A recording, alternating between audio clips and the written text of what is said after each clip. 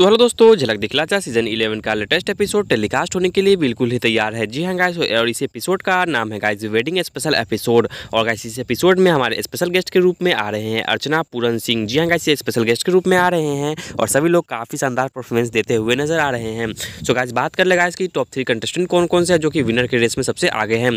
और गाइस यही मतलब मेरा प्रेडिक्शन यही है गाइस कि इन तीनों में से कोई एक ही कंटेस्टेंट हमारा विनर का ट्रॉफी अपने नाम करेगा। तो चलो चलो जानते हैं गाइस की झलक दिखला था सीज़न इलेवन का जो कि सबसे मतलब कंटेस्टेंट जो कि है, जो स्ट्रॉन्ग कंटेस्टेंट कौन कौन से हैं? तो उनका नाम है गाय सुएब शिव एंड अदिरजा जी हाँ गाइस ये तीन कंटेस्टेंट ऐसे हैं जो कि हमेशा टॉप थ्री की लिस्ट में रहते हैं, सबसे आगे। जी हाँ गाइस एक, दो, तीन पे रहते हैं।